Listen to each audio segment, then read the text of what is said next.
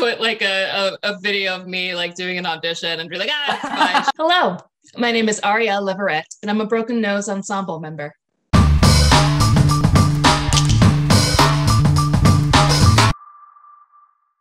I am originally from Detroit, uh, Michigan. Growing up, I did not do theater really. I found out my freshman year in college that I super love theater, and bit by bit, I ended up changing my major to theater and disappointing my parents.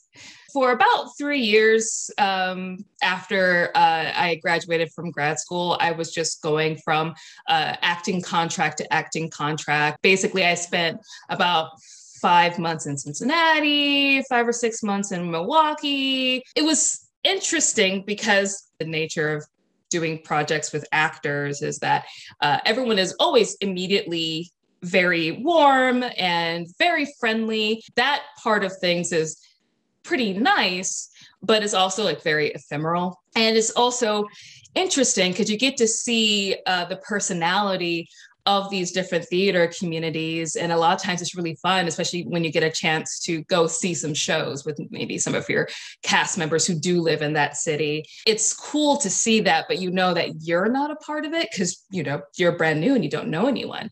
And you might start to get to know people there, but you're going to be leaving. And so after a while, it's like, gosh, I kind of wish I had that. Well, if I move to Chicago, I could have both things because I can audition for things outside of Chicago, but I get to come back here to my home. You know, now I'm an ensemble member for this theater, I'm a company member for another theater. So I have those relationships to help support me. And now I have people rooting for me, you know, and that feels better.